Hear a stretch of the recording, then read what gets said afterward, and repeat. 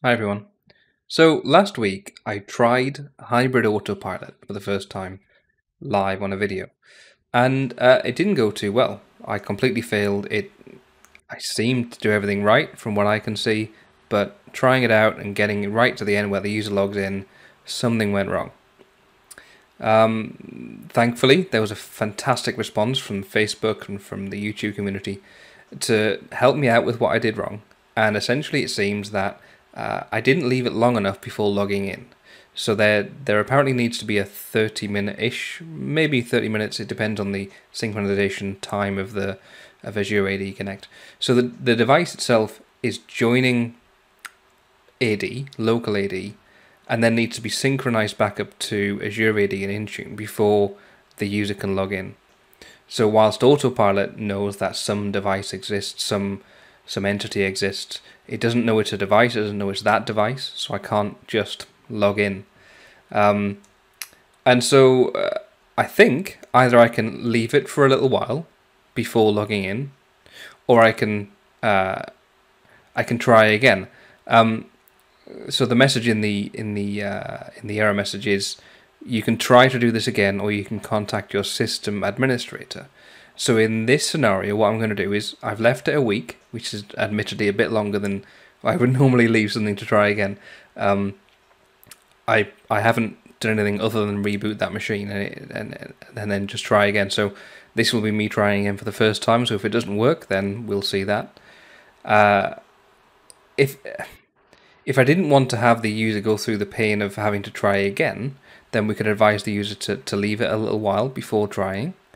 Or perhaps we could run the scripts that is mentioned in the comments section of this video. So if we scroll down a little bit, you can see that uh, Colm said this is the message that, that they get when they receive this, uh, when when they when they try and and and, and run hybrid autopilot.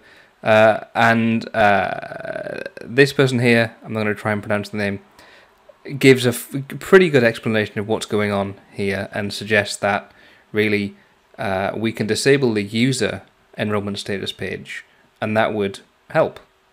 So I'm not going to be able to test that yet because I've just, um, well, I've waited too long for, to, to, for that to make any sense. So I've waited over a week, so it's not going to help if I and remove the the user part of the ESP now. So I'll try with just um, with just trying again, like it suggests in the message after more than half an hour of waiting.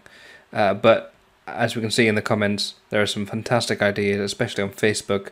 Great discussion that took place following the post. So thank you for everyone who was helping there. That's really that's really insightful. Thank you very much. So let's just try this straight away then.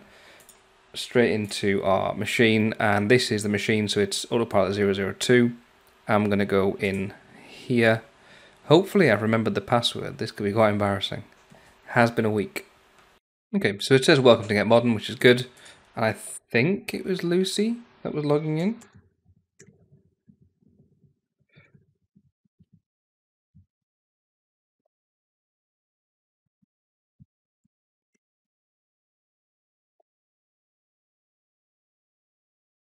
Okay, so on Lucy's second attempt, we get a message saying please wait while we set up your device and let's see how far this goes. Okay, so that looks like a sign-in screen. Um, and it asked me to sign into Corp. So let me just log in as Lucy Tester. We'll see what the screen says when we try and do that. Okay, so that looks like it's logging me in. So I'm going to leave it there. That really did seem to help. Um, so how can we do that better then? How can we not have the user have to wait 30 minutes, an hour, two hours, a week in my case? I didn't need to wait a week, but I had other stuff to do, so it has been that long. But it should have worked first time, right? That's the idea. The user shouldn't have had that poor experience. So what we're going to do in the next video is try the original method again, but we're going to use some of the techniques that we figured out through the Facebook groups and through the YouTube comments to see if that can actually help us. We'll try disabling the user ESP, and we'll also try uh, a script to kick off a Delta Azure AD Connect sync. For now, thank you for coming back to watch this video. Please hit the like button, please subscribe. I'd love to get you more content as soon as I can. See you next time.